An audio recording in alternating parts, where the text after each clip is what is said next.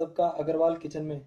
दोस्तों, आज मैं बनाने जा रहा हूँ टोमेटो पुलाव और इसे तवा पुलाव भी बोला जाता है, मुंबई टोमेटो पुलाव भी बोला जाता है। ये एक ऐसी डिश है जो मुंबई में अक्सर आपको गलियों में, जहाँ भी फास्ट फ़ूड वगैरह है या रेस्टोरेंट है, छोटे ढाबे टाइप के हैं, वहाँ पे अक्सर ये बनाया जाता है और लोग इसे बहुत पसंद से खाते हैं।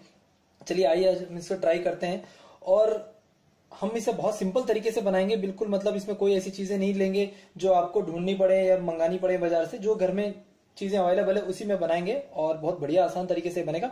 चलिए आइए देखते इसको बनाने के लिए हमें किन चीज़ों की ज़रूरत है। सबसे पहले लेंगे टमाटर। ये चार टमाटर हमने लिए हैं और इनको बारीक काटा है। दो बड़े प्याज लिए हैं, इनको भी हमने बारीक कट कर लिया है। अदरक और, लहसन को, दो तीन कलियाँ लिया लहसन की और एक टुकड़ा लिया अदरक का, उसको हमने कद्दूकस कर लिया है।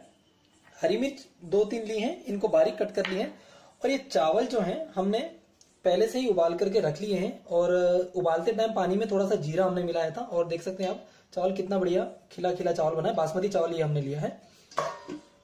साथ में मसाले में लेंगे मिर्च पाउडर, नमक हल्दी पाउडर, जीरा, और गरम मसाला लिया है, और इसे बनाएँगे हम रिफाइंड तेल में।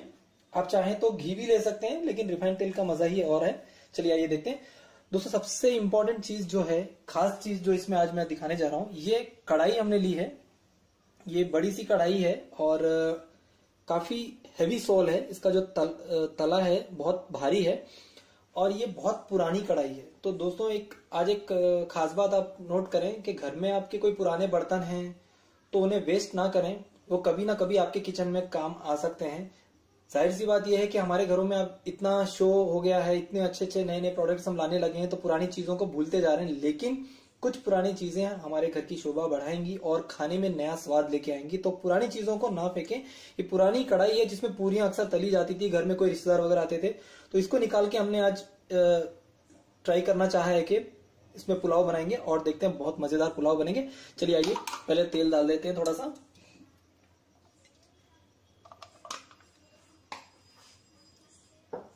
तेल थोड़ा सा गर्म होने दें। दोस्तों, तेल गर्म हो गया है और इसमें अब हम मिलाएँगे आधा चम्मच जीरा। बहुत अच्छी तरीके से गर्म हो गया है और इसी में अब हम मिला लेंगे प्याज। आज बिल्कुल ढाबे वाली ढाबे वाला मज़ा आने वाला है, क्योंकि तो कढ़ाई इतनी भारी है और गैस भी हमने अच्छी तेज कर रखा है, क्योंकि तो ये मंदी गैस पे बनने वाली चीज़ नहीं है।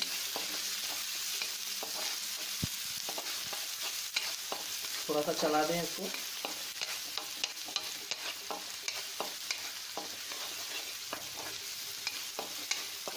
क्योंकि तेज गैस पे हम भून रहे हैं इसको तो प्याज जल्दी भून जाएगी। एक दो तीन मिनट चलाने से ही ये जो है भून करके तैयार हो जाएगी।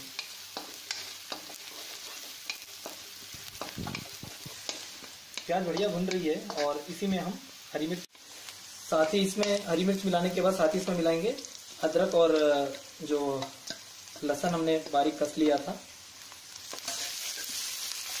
बहुत अच्छी महक इसमें आने लगी है, क्योंकि मसाला बहुत, ये जो कढ़ाई में जिस तरीके से भून रहे हैं, अच्छी महक आ रही है, क्योंकि नॉर्मल जो हम बर्तन लेते हैं, काफ़ी क्लोज से होते हैं तो उनमें वो खुल के महक नहीं आ पाती और दूसरी बात क्या होता है कि कहीं ना कहीं हम लिमिट में उसको सेकते हैं, और ये जो तो तेज गैस पे किसी चीज़ को बनाते हैं तो उसका टेस्ट भी उसी तरीके से आता है। बस ये है कि तला जो है, उसका हैवी होना चाहिए।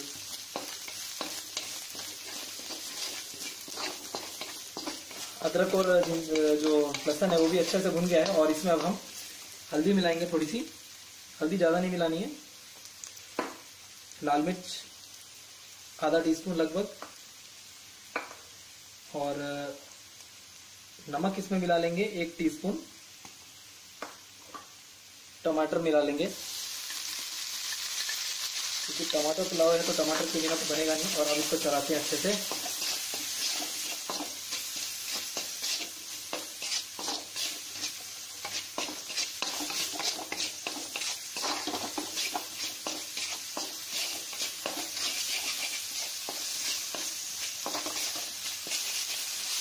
इसी में हम थोड़ा सा गरम मसाला मिला देंगे। अच्छे से इसको चलाते हैं।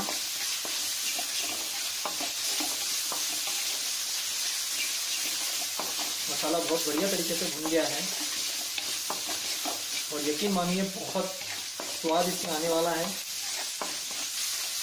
चलिए, मसाला भून गया और इसमें हम चावल मिला लेते हैं। चावल को खुला खुला करके डालेंगे। वैसे तो खुले हुए चावल। तरीके से।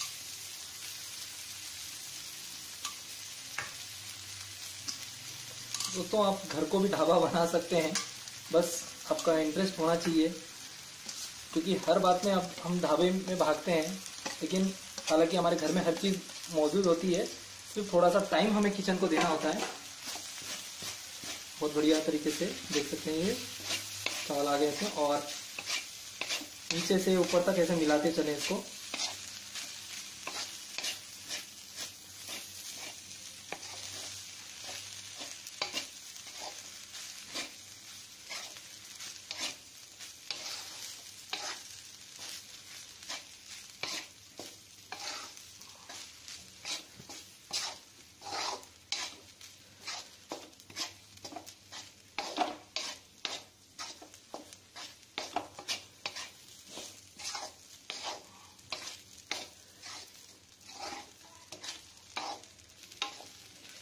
दोस्तों, चावल पूरी तरह से मिक्स हो गए हैं और इसमें अब हम ऊपर से थोड़ा सा धनिया डाल देते हैं।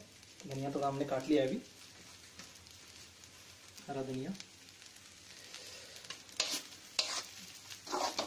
और गैस बंद कर देंगे। दोस्तों, ढाबे जाने की बिल्कुल भी ज़रूरत नहीं है और आप ये देख करके अंदाज़ा लगा सकते हैं कि कितना बढ़िया तरीके से ये बन चुका है और कहीं ना कहीं आप भी इस चीज़ को ज़रूर ट्राई करेंगे।